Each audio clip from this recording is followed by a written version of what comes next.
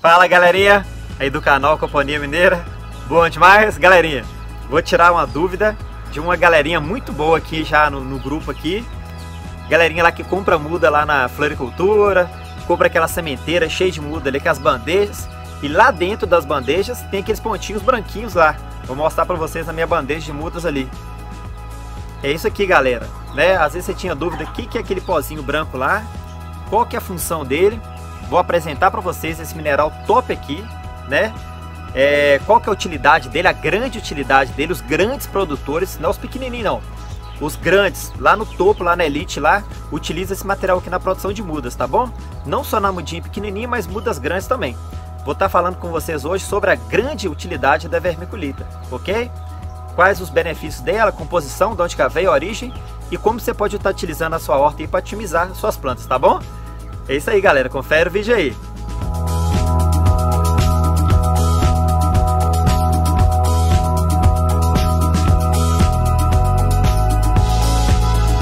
Pessoal, pra, só para lembrar um pouquinho aqui que, a, que os pontinhos brancos que eu falei na muda, para quem está assistindo a primeira vez, me vendo a primeira vez, eu sou Anselmo, eu sou um biólogo, é, me especializei em produção de plantas e essas, essa sementeira aqui eu plantei 100 100% de germinação. Não foi 99 não, 100%. Não falhou nenhuma célula. Agora olha aqui dentro aqui, ó. Tá vendo os pontinhos brancos aqui, ó? Vários pontinhos brancos. Esse pontinho branco é a vermiculita que eu acabei de mostrar para vocês aqui, ó. Isso é misturado no substrato da, da muda, né? Eu vou explicar para vocês por que que eles colocam essa esse substrato que eu comprei, tá bom? As sementes eu tirei de um tomate de feira. Eu fui lá na feira, comprei, na feira aqui embaixo, para baixo da minha casa. Comprei o, o, o, tomate, removi a semente e fiz a, a, produção de muda. Eu ensino aí, né? Como fazer, como plantar muda de, de, de tomate. E nesse substrato que eu comprei aqui, ó, tem o vermiculita. Ele é utilizado, ele você pode ir lá na feira, você pode ir lá na, perdão, lá na floricultura, vai ter lá as mudas e vai ter esses pontinhos brancos aqui, tá bom? Os grandes produtores utilizam vermiculita. Vou estar mostrando o material aqui falando sobre ele, tá ok? Só tá mostrando aqui para vocês verem que é realmente utilizado em substratos de produção de muda. Eu uso aqui e os grandes produtores também, tá bom? Vamos lá conhecer o produto. Eu vou mostrar o material bem de pertinho para vocês terem ideia, né? Aqui, olha. Ele é o seguinte, esse material aqui, a origem dele, ele é um mineral. Ele é um pó de rocha é uma rocha que lembra mica, que é aquela rocha toda é, formada de plaquinhas. Isso aqui é originário da crosta terrestre, né, de origem basalto, derivado de basalto, é, que forma a crosta terrestre. É, não decompõe, não estraga nunca mais. Se você colocar num, num vaso de frutífera, por exemplo, não vai decompor nunca mais. Se você pega 100 gramas dele, ele absorve 500 gramas de água. Ele absorve 5 vezes o peso dele em água. Então, se você joga num vaso de uma, um vaso de, né, você planta uma laranja, por exemplo, mistura isso aqui, ele vai absorver água. Assim que tiver contato com o mínimo calor, ele já evapora essa água e transfere essa água para o solo, para a raiz da planta. Então é excelente hidratador da sua planta, é, possui micronutrientes, né? Ele consegue nutrir uma muda, ajuda um pouquinho na nutrição também e principalmente na absorção de umidade, tá bom? Ele é isolante térmico também, galera. Ele não, não é bom para perda nem ganho de calor, não. Ele é um isolante térmico, é um semi-isolante elétrico, né?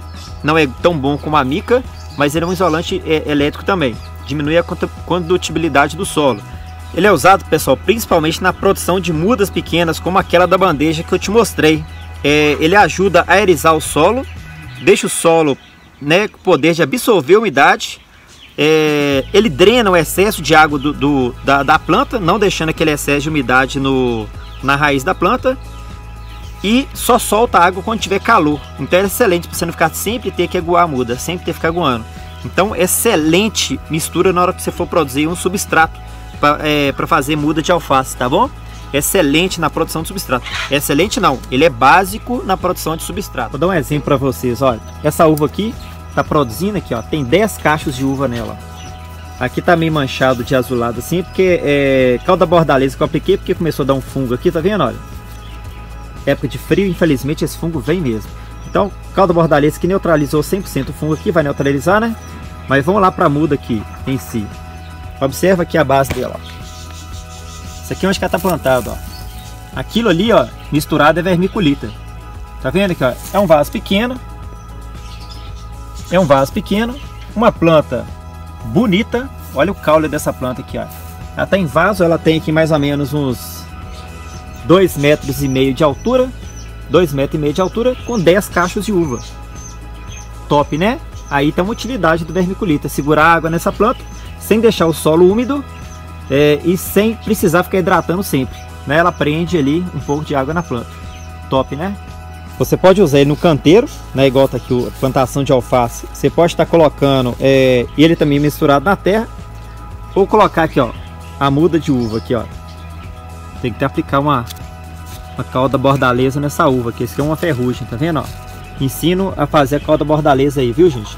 Aqui, ó debaixo da cama aqui, ó, você tirar a cobertura vegetal, você vê os pontinhos brancos ali, ó. É vermiculita, tá vendo, ó? Mantém a planta com água, sem ser excesso de água, sem ser uma planta super hidratada, que aí ela consegue manter a umidade sem ficar encharcada, tá bom? É isso aí, pessoal. É... Voltando aqui para vermiculita, ela é um excelente produto. Ela não é uma tentativa se vai dar certo, não. Não é uma tentativa, não é um experimento não é uma coisa que você vai comprar para ver se é bom, não. Se você for fazer um substrato para muda, é essencial ter.